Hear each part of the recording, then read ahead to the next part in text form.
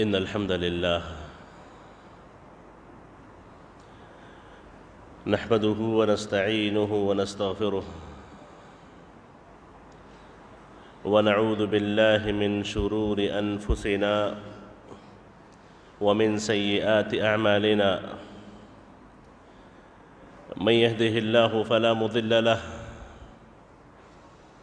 ومن يضلل فلا هادي له وأشهد أن لا إله إلا الله وحده لا شريك له وأشهد أن محمدا عبده ورسوله صلى الله عليه وعلى آله وصحبه وسلم تسليما كثيرا. يا أيها الذين آمنوا اتقوا الله حق تقاته. ولا تموتن إلا وأنتم مسلمون. يا أيها الناس اتقوا ربكم الذي خلقكم من نفس واحدة وخلق منها زوجها وبث منهما رجالا كثيرا ونساء.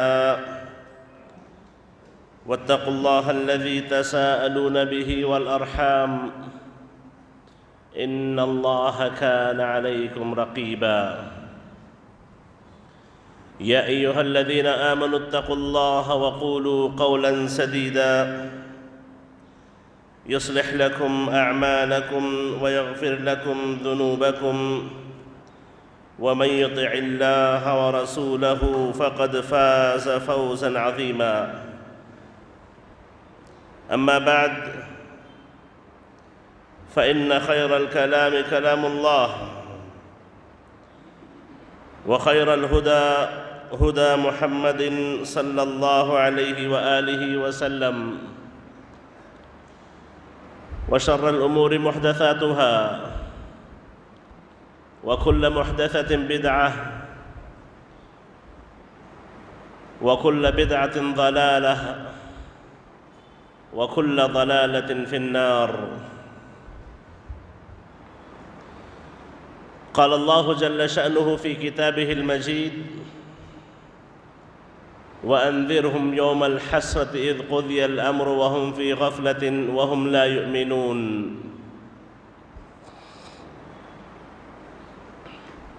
قابل احترام حاضرین جمعہ معزز خواتین ملت تمام تعریفیں ہر قسم کی بڑائی، کبریائی، اسی اکیلے اللہ کے لیے لائق و زیبہ ہے۔ جس نے ہم پر اپنی تمام نعمتیں مکمل فرمائیں۔ بعدہ درود و سلام ہو اس نے بھی یہودا۔ محمد مصطفیٰ صلی اللہ علیہ وسلم کی ذات مبارکہ پر۔ جن پر درود و سلام اللہ کی رحمتوں، برکتوں کے حصول کا ایک ذریعہ ہے۔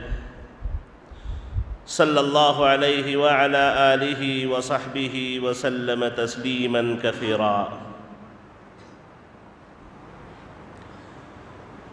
معزز حاضرین، ہماری اس دنیا میں پیدائش آخرت کی تیاری کے لیے ہے۔ آخرت کی کامیابی ہماری دنیا کی کامیابی ہے۔ اگرچہ کہ دنیا میں ہم ظاہری طور پر دنیاوی معلومات کے اعتبار سے ناکام و نامراد ہی کیوں نہ ہوں۔ اور آخرت میں اگر ناکامی ہو تو یاد رکھیں دنیا کی کوئی دولت، دنیا کا کوئی مقام، دنیا کا کوئی مرتبہ ہمیں کبھی کوئی فائدہ نہیں پہنچا سکتا۔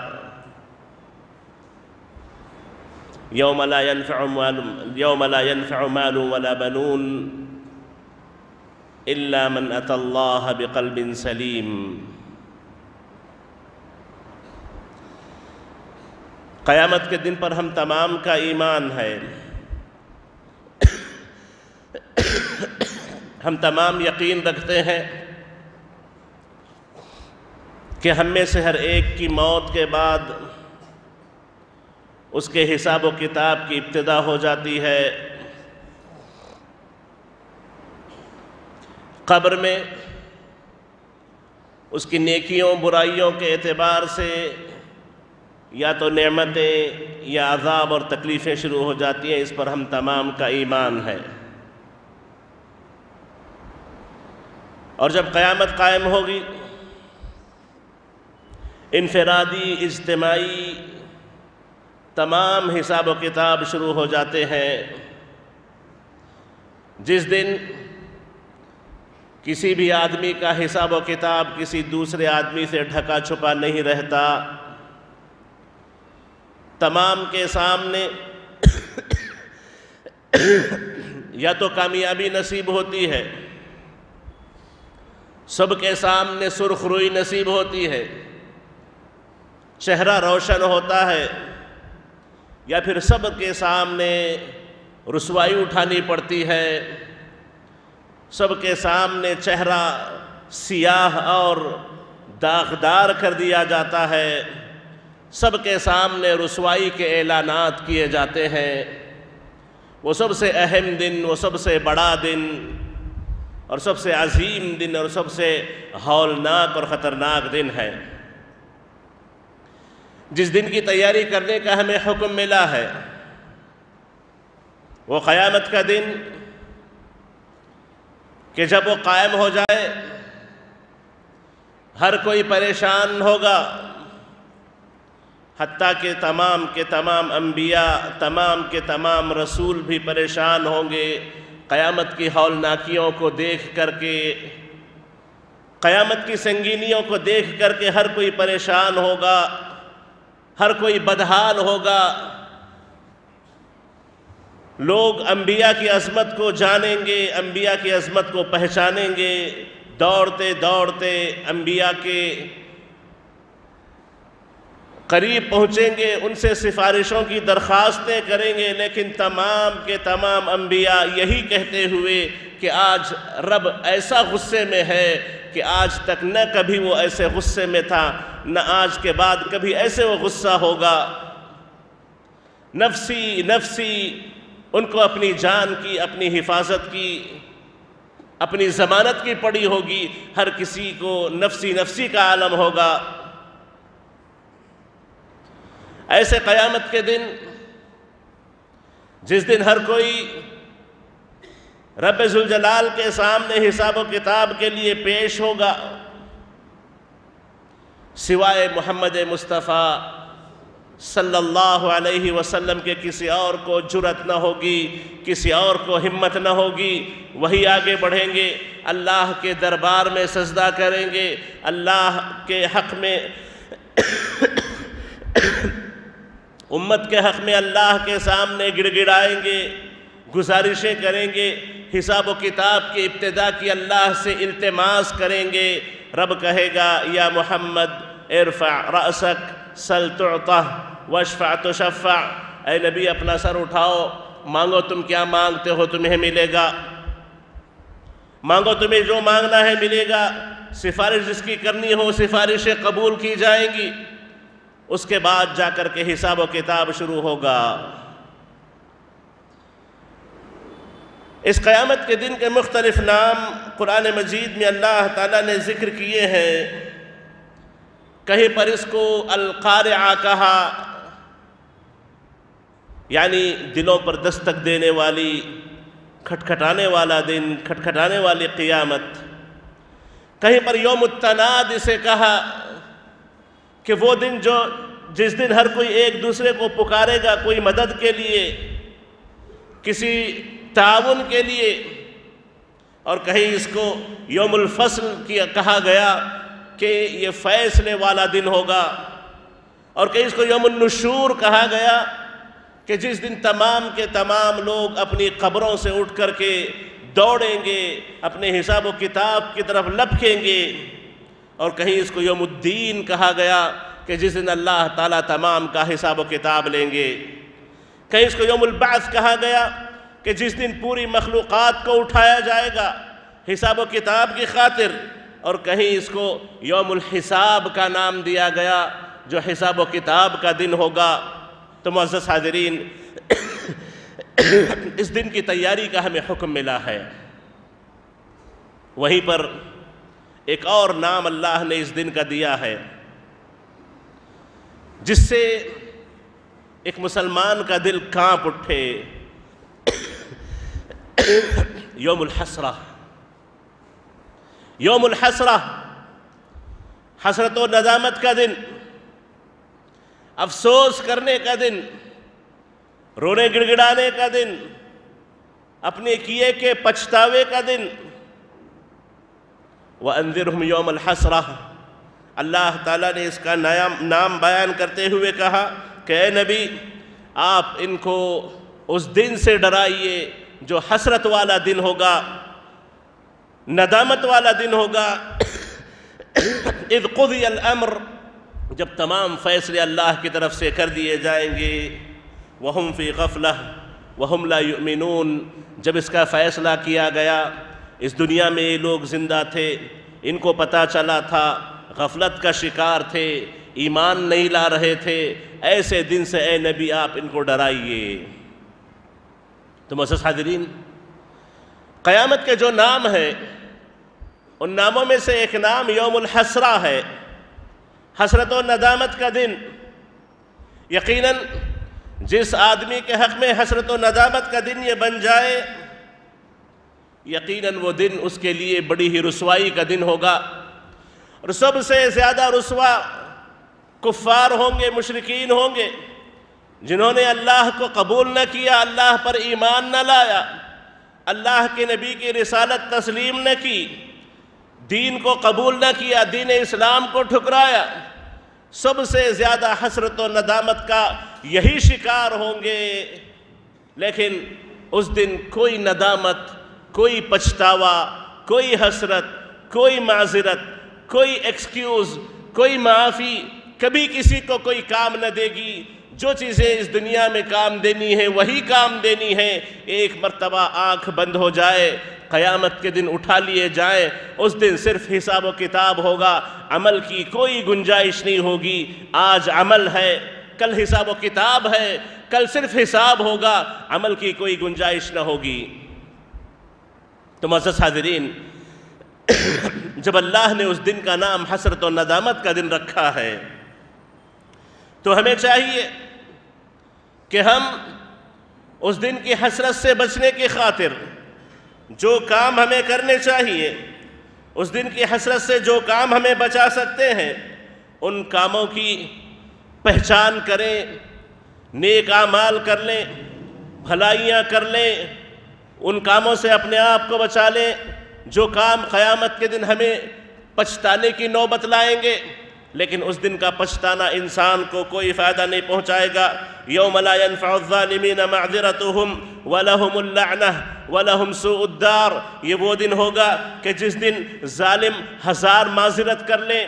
ہزار آ کر کے اپنے ہیلے بہانے پیش کر لیں ہزار آ کر کے اپنے اپنے عذر پیش کرنے لگیں لا ينفع الظالمین معذرتهم کوئی عذر ان کو کام نہیں دے گا۔ وَلَهُمُ اللَّعْنَةِ، ان پر لعنتیں ہی لعنتیں ہوں گی۔ وَلَهُمْ سُوءُ الدَّارِ، اور سب سے بدترین ٹھکانہ ان کے حق میں کیا جائے گا۔ تو معزز حاضرین، یوم الحسرہ کی حسرتوں سے ہمیں بچنے کی کوشش کرنی چاہیے۔ جہاں تک ہو سکے کوئی بندہ کسی نیکی کے کام کو چھوٹا سمجھ کر آج نہ چھوڑے، کسی برائی کے کام کو چھوٹا سمجھ کے آج نہ کرے، کہیں ایسا نہ ہو کہ آج کی ہوئی چھوٹی سی برائی قیامت کے دن حسرت و ندامت کا ذریعہ بن جائے اور آج چھوڑا ہوا چھوٹا سا عمل قیامت کے دن ہمارے لیے حسرت و ندامت کا باعث نہ بن جائے۔ ہم یہ نہ کہنے لگے کہ کاش میں نے یہ کر لیا ہوتا۔ کاش میں نے یہ کر لیا ہوتا۔ معزز حاضرین، اس دن کی حسرت و ندامتوں سے بچنے کے لیے آج کی زندگی کو، آج کی سہولتوں کو، آج کی حیثیتوں کو، آج کی طاقت کو، آج کے وقت کو اور آج کی اللہ کی دی ہوئی سہولتوں کو آپ غنیمت تصور کریں۔ قیامت کے دن کی حسرت سے اپنے آپ کو بچانے کی کوشش کریں۔ یقیناً وہ حق والا دن ہے۔ جب آ جائے تو اس دن سے بچانے والی کوئی ذات، کوئی طاقت نہیں ہوگی۔ معزز حاضرین، میں کچھ ایسے اعمال کا تذکرہ کروں گا کہ جن اعمال کے نہ کرنے پر قیامت کے دن ایک مسلمان حسرت کرے گا، پچھتائے گا، ندامت کرے گا۔ ان میں سے ایک عمل یہ ہے، جس کو نبی کریم علیہ السلام نے الفاظ میں بیان کیا، اقرأوا سورة البقرة اقرأوا سورة البقرة فإن أخذها بركة وتركها حسرة ولا تستطيعها البطلة۔ اللہ کے نبی علیہ السلام فرماتے ہیں کہ سورہ بقرہ کی تلاوت کیا کرو۔ سورہ بقرہ کی تلاوت کیا کرو۔ سورہ بقرہ کی تلاوت برکت والا عمل ہے۔ اس سے زندگی میں، صحت میں، روزی میں، گھروں میں، ہر اعتبار سے اللہ تعالیٰ برکتیں ڈالتا ہے۔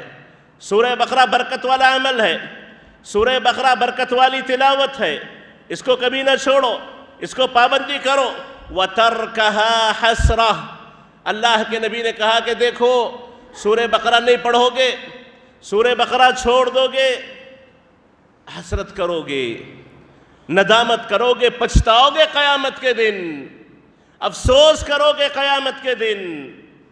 اگر سورہ بقرہ کو تم نے اس دنیا میں چھوڑ دیا، سورہ بقرہ کی تلاوت تم نے اپنے گھروں میں، اپنی زندگیوں میں نہ رکھی، حسرت و ندامت ہوگی اس دنیا میں بھی۔ اور آخرت کی حسرت تو سب سے بدترین حسرت ہے۔ وَلَا تَسْتَطِيعُهَا الْبَاطَلَةِ اور نبی کریم علیہ السلام نے فرمایا کہ جتنے باطل پرست ہیں جتنی غلط حرکت کرنے والے ہیں، جتنے جادوگر ہیں اور جتنے غلط قسم کے کام کرنے والے ہیں، وہ اس آدمی کو کوئی نقصان نہیں پہنچا سکتے جس کی زندگی میں سورہ بقرہ ہو۔ اس آدمی کو کوئی نقصان نہیں پہنچا سکتے جس کی زندگی میں جس کی تلاوت سورہ بقرہ کی ہوتی ہو۔ تو معزز حاضرین، سورہ بقرہ کی تلاوت کرنا، اس کی تلاوت کو اپنی زندگی کی عادت بنانا اور ہو سکے تو اس کی تلاوت کو اپنے گھروں میں خاص طور پر کرنا۔ کیونکہ اللہ کے نبی علیہ السلام نے فرمایا کہ جس گھر میں سورہ بقرہ کی تلاوت ہو، وہاں پر شیطان اپنا کوئی اثر نہیں رکھتے، شیطان وہاں پر کوئی عمل دخل نہیں رکھتے، شیطان کے کوئی نقصان وہاں نہیں ہوتے۔ جس گھر میں سورہ بقرہ کی تلاوت ہو، اور قیامت کے دن یہی سورہ بقرہ اور آل عمران، ان کے تعلق سے نبی کریم علیہ السلام نے فرمایا کہ قیامت کا دن ہوگا، یہ سورہ بقرہ۔ اس کی تلاوت کرنے والوں کو سایہ کرنے کے لیے آئے گا۔ جس دن ہر کوئی پریشان ہوگا، سورج سروں کے بالکل قریب ہوگا، ہر کوئی اپنے گناہوں سے پسینے میں لطپت ہوگا، ہر کوئی بالکل پریشانی کی بے غلط کیفیت میں ہوگا۔ تو ایسے حالات میں سورہ بقرہ کے تعلق سے اللہ کے نبی فرماتے ہیں، پرندوں کے جھنڈ کی طرح، جیسے پرندے مل کر کے ایک جگہ اڑتے ہیں جھنڈ بنا کر کے اڑتے ہیں۔ ویسے پرندوں کے جھنڈ کی طرح یا بعض روایات کے مطابق دو بڑے بڑے بادلوں کی شکل میں آ کر کے سورہ بقرال عمران اپنی تلاوت کرنے والوں کو سایہ دیں گے۔ تو مسجد حاضرین، ویسے عمومی طور پر قرآن مجید کی تلاوت ہمارے لیے برکت کا باعث ہے۔ لیکن بالخصوص سورہ بقرہ کی تلاوت کرنا یہ برکت کا ایک بہترین ذریعہ ہے۔ اور سورہ بقرہ کو ترک کر دینا، سورہ بقرہ کو چھوڑ دینا، یہ حسرت و ندامت کا ذریعہ ہے۔ قیامت کے دن کے پچھتاوے سے اگر بچنا ہے، سورہ بقرہ کو اپنی زندگیوں میں رکھے۔ اور خاص طور پر آج کل کی ہماری اپنی زندگیاں، جس میں حسد بہت زیادہ ہے، دشمنیاں بہت زیادہ ہیں۔ ایک دوسرے کے خلاف ہر کوئی کسی نہ کسی طریقے سے حسد و بغض کا شکار ہے۔ ایسے حالات میں حفاظت کا ایک بہترین ذریعہ سورہ بقرہ ہے، اس کی بندہ تلاوت کرے تو اللہ تعالیٰ اس کی پوری حفاظت فرماتے ہیں۔ اور معزز حاضرین، اسی طریقے سے قیامت کے دن جو چیزیں حسرت و ندامت کا باعث بنیں گی، جس پر آپ کو افسوس ہوگا، پچھتائیں گے، لیکن پچھتانے کا کوئی فائدہ نصیب نہیں ہوگا۔ یاد رکھیں، آپ کی کوئی بھی مجلس، آپ کا کوئی، آپ کی کوئی بھی بیٹھک کہیں کسی سے مل کر کے آپ بیٹھے ہوں، دو چار آپ نے بات چیت کی ہو، آپ بیٹھ کر کے بات چیت کر کے وہاں سے اٹھے، لیکن اس مجلس میں، اس بیٹھک میں اگر آپ نے نبی کریم علیہ السلام پر درود نہ بھیجا ہو اللہ کا ذکر نہ کیا ہو، اللہ کا نام نہ لیا ہو، اللہ کے نبی پر درود کا اہتمام نہ کیا ہو، ایسی تمام مجلسیں، ایسی تمام مجلسیں قیامت کے دن، ایسی تمام مجلسیں قیامت کے دن حسرت و ندامت کا باعث بنیں گی۔ افسوس کریں گے، ندامت کریں گے کہ کاش میں ایسی بیٹھکوں میں نہ ہوتا، کاش میری کوئی ایسے بیٹھک نہ ہوتی۔ تو اپنی تمام بیٹھکوں میں چاہے وہ آپ کی کوئی خاندانی بیٹھک ہو، چاہے وہ آپ پڑھنے کے لیے بیٹھے ہوں، چاہے آپ کوئی ڈیل کرنے کے لیے بیٹھے ہوں، چاہے جس مقصد سے آپ کسی اور کے ساتھ مل کر بیٹھے ہوں، یا آپ اکیلے میں بھی کیوں نہ ہو، یاد رکھیں جب کبھی آپ کو کسی بیٹھک کا موقع ملے، اللہ کا نام ضرور لے لے، اللہ کے نبی پر درود ضرور بھیج دے۔ جس بیٹھک میں اللہ کا نام اللہ کے نبی پر درود نہ ہو، یاد رکھیں وہ تمام کی تمام بیٹھکیں قیامت کے دن حسرت و ندامت کا باعث بنیں گی، پچھتاوے کا باعث بنیں گی۔ اس سے اگر بچنا ہے تو اپنی مجلسوں میں اللہ کو آباد رکھو، اپنی مجلسوں کو نبی کریم علیہ السلام پر درود کے ذریعے آباد رکھو تو قیامت کے دن حسرت و ندامت سے اللہ تعالی حفاظت فرمائیں گے۔ نبی کریم علیہ السلام نے فرمایا، ما قعد قوم مقعدا لم يذكروا فيه الله لم يذكروا فيه الله عز وجل ويصلوا على النبي الا كان علیہم حسرة یوم القیامہ کہ جب کبھی کچھ لوگ کہیں مل کر کے بیٹھیں جس میں اللہ کا انہوں نے نام نہ لیا ہو، نبی کریم علیہ السلام پر درود نہ بھیجا ہو، تو یاد رکھیں قیامت کے دن، قیامت کے دن حسرت کا، ندامت کا، پچھتاوے کا، رونے کا باعث بنے گی وہ مجلسیں اگرچہ آپ اکیلے ہوں، سامنے والے غیر مسلمان کیوں نہ ہوں؟ اگرچہ آپ ایسی بیٹھک بیٹھے ہوں جس میں کوئی تجارتی لین دین ہو، کوئی مسئلہ ہو، کوئی بھی بات چیت ہو، کم از کم آپ اگر ایک اکیلے مسلمان بھی کیوں نہ ہو آپ کی زبان پر، آپ کے دل میں اللہ کا نام ہونا چاہیے۔ اللہ کے نبی پر درود بھیجنا اپنی زندگی کا ایک عادت ڈال لے، اپنی زندگی کا ایک رواج بنا لے، طریقہ بنا لے کہ جب کبھی زبان خالی ہو، اللہ کا ذکر ہو اللہ کے نبی پر درود ہو، تمام مجلسیں حسرت و ندامت سے بچ سکتی ہیں، ورنہ ایسی مجلسیں قیامت کے دن حسرت و ندامت کا باعث بنتی ہیں۔ معزز حاضرین، اپنی مجلسوں کی حفاظت کریں، اپنی بیٹھکوں کی حفاظت کریں۔ جن مجلسوں میں حلال کام ہو جن مجلسوں میں خیر کے کام ہو، بغیر اللہ کے نام کے حلال ہو، بغیر اللہ کے نبی پر درود کے حلال ہو، ایسی مجلسیں قیامت کے دن حسرت و ندامت کا باعث بنیں گی۔ تو ان مجلسوں کا کیا کہنا؟ جس میں غیبت ہو، جس میں بہتان ہو جس میں جھوٹ ہو، جس میں الزام ہو، جس میں فحاشی ہو، جس میں دھوکہ ہو، جس میں ایک دوسرے کو چیٹ کیا جائے، جس میں ایک دوسرے کے خلاف سازشیں کی جائیں، جس میں فحاشی کی باتیں کی جائیں، جس میں فحاشی والی تصویریں پیش کی جائیں۔ یہ مجلسیں تو قیامت کے دن عذاب اور وبال بن کے آئیں گی۔ ایسی بیٹھکیں قیامت کے دن عذاب اور وبال بن کے آئیں گی۔ اگرچہ آپ اپنی بیوی کے ساتھ رات کے اندھیرے میں اکیلے اپنے بیڈ روم میں بیٹھے ہو، جو کہ جائز بیٹھک ہے، دونوں کے جائز تعلقات ہیں۔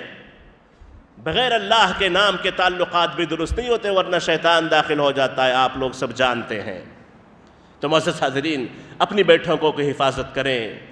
شیطان کا شر بڑا سخت ہے۔ لیکن اللہ کا ذکر ہو جائے تو شیطان کا شر بڑا کمزور پڑ جاتا ہے۔ اور معزز حاضرین، قیامت کے دن جو اور حسرتوں والے عمل ہیں، ندامت والے عمل ہیں، بہت سے نیکیوں کے کام آپ نے کیے ہوں گے، بھلائیوں کے کام آپ نے کیے ہوں گے۔ قیامت کا دن ہوگا ان اعمال پر آپ افسوس کریں گے۔ وجہ کیا ہے؟ کہ آپ نے اس اپنے نیک عمل میں کوئی غلط چیز داخل کر دی ہوگی۔ یا تو نیتوں میں کوئی کھوٹ آ گیا ہوگا، نیتوں میں ریاکاری آ گئی ہوگی، یا پھر اس عمل کو آپ نے سنت کے مطابق نہیں کیا ہوگا۔ سنت سے ہٹ کر کے اپنی منمانی پر آپ نے اس عمل کو کیا ہوگا۔ یا کوئی ایسا کام ہوگا جس سے آپ کے اس نیکی کے ثواب میں بڑی کمی ہو گئی ہوگی۔ اللہ تعالیٰ فرماتے ہیں وَبَدَا لَهُم مِّنَ اللَّهِ مَا لَمْ يَكُونُوا يَحْتَسِبُونَ۔ قیامت کا دن ہوگا، اللہ تعالیٰ کی طرف سے ایسی ایسی چیزیں ظاہر ہو کے آئیں گی، جس کا ہم نے گمان تک نہیں کیا تھا کہ کیا یہ بھی ہو سکتا ہے۔ کیا ایسے بھی ممکن ہے؟ معزز حاضرین، اپنے دلوں میں اخلاص رکھیں کہ ایسا نہ ہو کہ ہماری نیکیاں قیامت کے دن ہمارے سامنے پیش ہوں، تھک ہار کر کے ہم اللہ کے سامنے پہنچیں، ثواب کی ایک امید رکھے ہوئے ہوں، یا تو اس کا ثواب ضائع ہو چکا ہو، یا پھر اس کے ثواب میں کافی کمی واقع ہو چکی ہو۔ ہمارے اپنی نیتوں کے کھوٹ کی وجہ سے، یا پھر ہم نے اپنے عمل میں سنتوں کی صحیح طور پر پابندی نہ کی ہو، یا پھر ہم نے نیکی کر کے لوگوں پر جتایا ہو۔ ہم نے نیکی کو بہت اونچا سمجھا ہو، غرور و تکبر کے ہم شکار ہو گئے ہوں۔ ایسے اعمال بھی قیامت کے دن ندامت حسرت کا باعث بنیں گے۔ حسرت و ندامت کا باعث بنیں گے۔ اپنی نیکیوں کی حفاظت کریں۔ نیکیاں شروع کرنے سے پہلے، نیکیاں کرتے ہوئے، نیکیاں کر لینے کے بعد تینوں حالتوں میں حفاظت ہوگی تو نیکیاں قیامت کے دن مفید اور نفع بخش ہوں گی۔ نیکیوں سے پہلے نیتوں کو صاف رکھیں۔ نیکیوں کے درمیان نیت کے ساتھ ساتھ سنت کا پورا خیال رکھیں اور نیکیوں کے کر لینے کے بعد کبھی غرور کا، تکبر کا، خود پسندی کا، اپنے آپ کو بہت کچھ سمجھنے کا، اپنے آپ کو نیک سمجھ لینے کا، اپنے آپ کو بہت پارسا سمجھ لینے کا، یہ جو خیال ہے، اس خیال سے اپنی حفاظت کریں گے تو قیامت کے دن حسرت و ندامت سے حفاظت ہوگی۔ ورنہ یہی نے کیا قیامت کے دن حسرت و ندامت کا باعث بنے گی۔ جو آدمی فرض چھوڑ کر کے سنتوں کو کرنے لگے، قیامت کے دن سنتوں کا ثواب اگر پالے تو فرض کے چھوڑنے پر اسے افسوس ہوگا۔ جو فرض کو پابندی کے ساتھ نہ کرتا ہو، فرض کے ادا کرنے پر پابندی کے ساتھ فرض کو ادا نہ کرنے کا حسرت ندامت پچھتاوا اسے ہوگا۔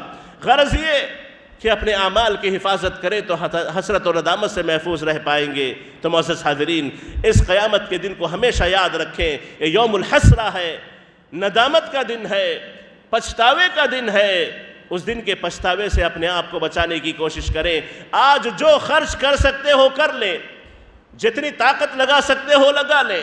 جو صلاحیتیں استعمال کر سکتے ہو آج کر لیں۔ قیامت کے دن آپ اپنی پوری دنیا خرچ کرنے کے لیے تیار ہو جائیں گے، لیکن آپ کے ہاتھ میں کچھ نہیں ہوگا، آپ کی طاقت میں کچھ نہیں ہوگا۔ اللہ تعالیٰ سے دعا ہے کہ اللہ تعالیٰ قیامت کی حسرت و ندامت سے ہماری حفاظت فرمائے۔ آمین۔ اقول قولی هذا واستغفر اللہ لی ولکم ولسائر المسلمین من کل دم فاستغفروه انہو هو الغفور الرحیم۔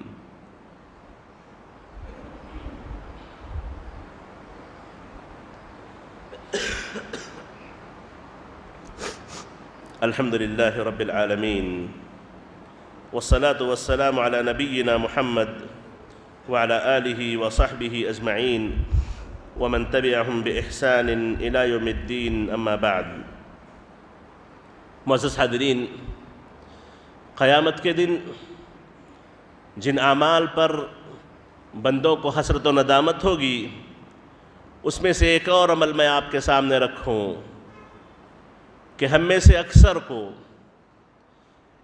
یہ بڑا شوق ہوتا ہے کہ ہم کہیں کے ذمہ دار بن جائیں، ہم کہیں کے امیر بن جائیں، ہمارے ہاتھ میں کوئی ذمہ داری آ جائے، ہم کہیں کے بادشاہ بنے، ہم کہیں کے گورنر بنے، ہم کہیں کے ذمہ دار بنے۔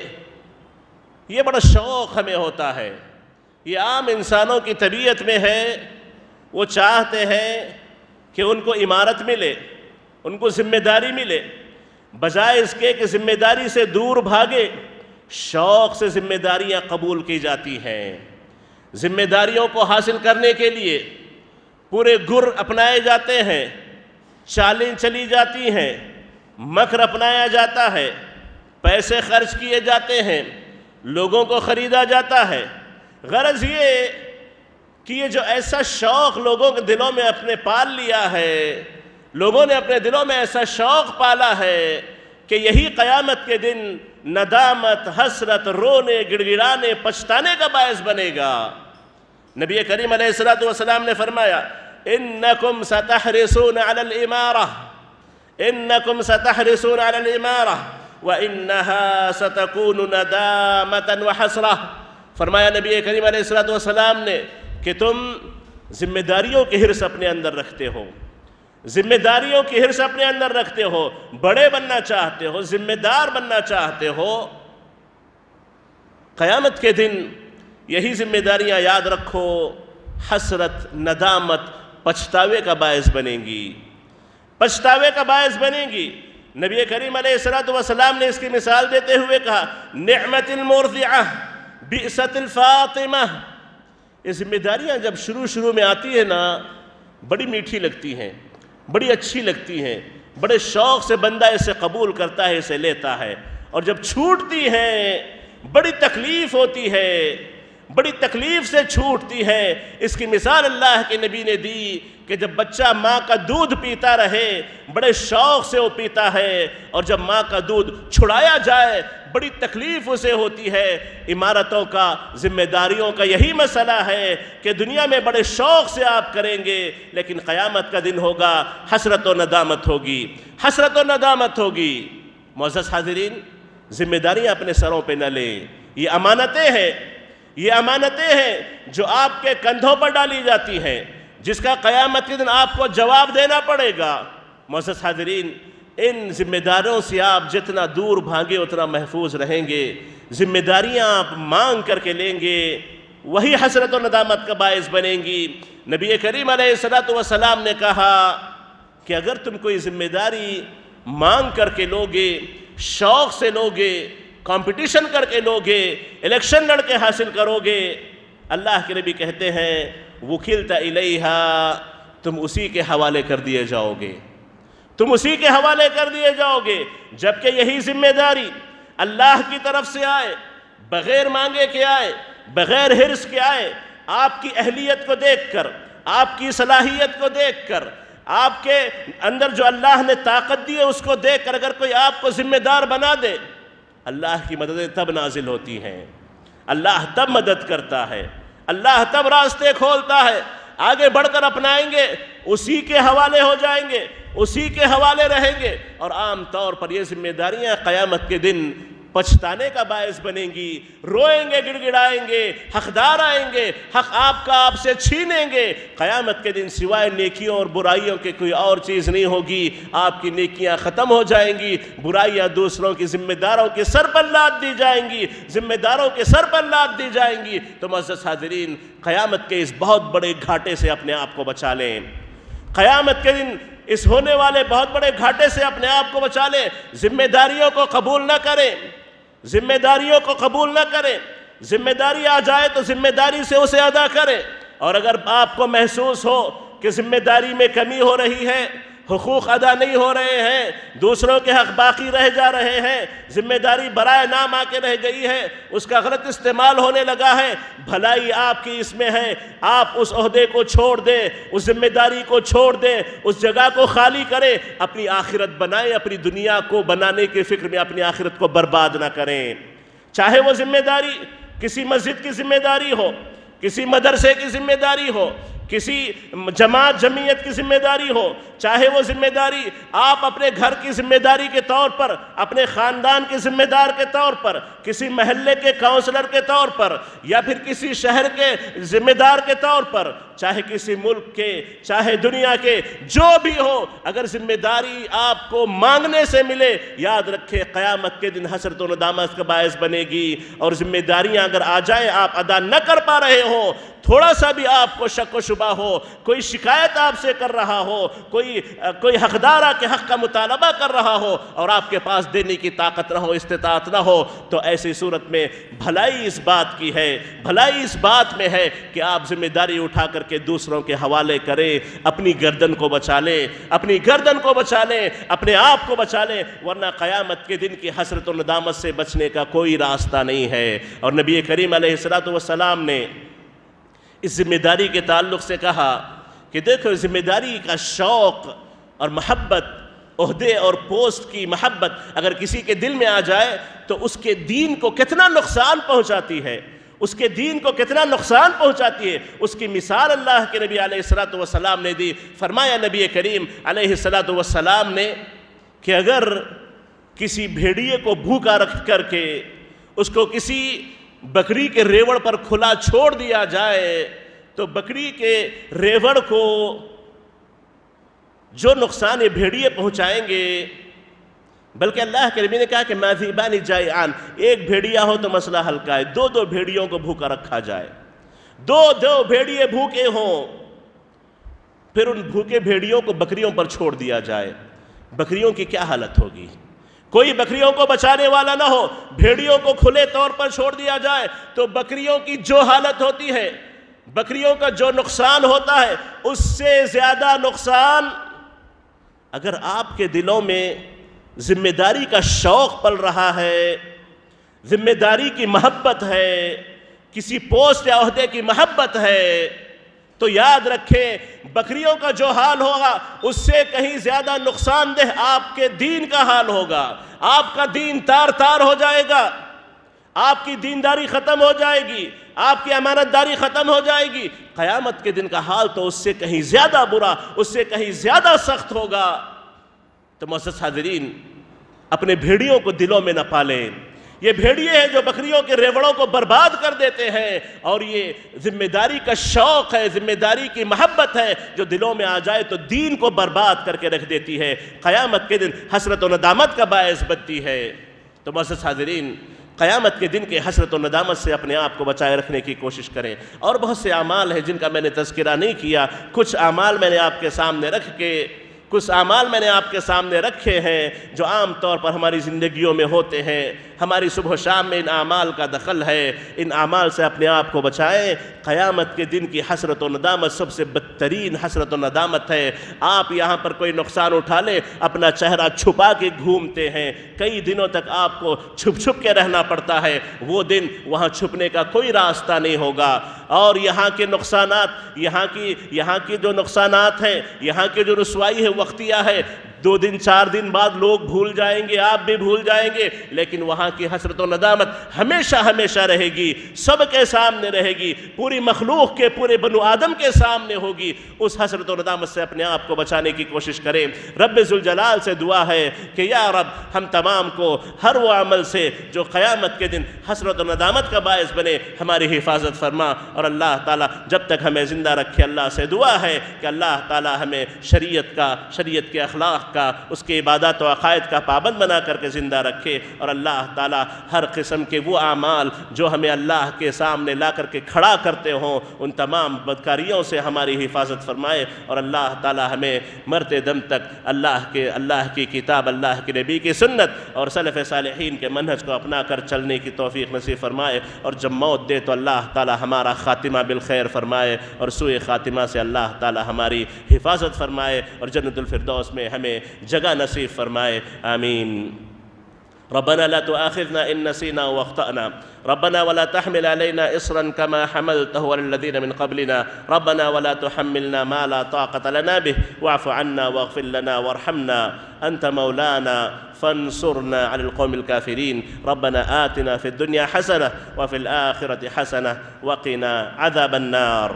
إن الله وملائكته يصلون على النبي. يا أيها الذين آمنوا صلوا عليه وسلموا تسليما. اللهم صل على محمد وعلى آل محمد كما صليت على إبراهيم وعلى آل إبراهيم إنك حميد مجيد. اللهم بارك على محمد وعلى آل محمد كما باركت على إبراهيم وعلى آل إبراهيم إنك حميد مجيد. وارض اللهم عن الخلفاء الأربعة وعن الصحابة أجمعين وعنا معهم بعفوك وكرمك يا أكرم الأكرمين.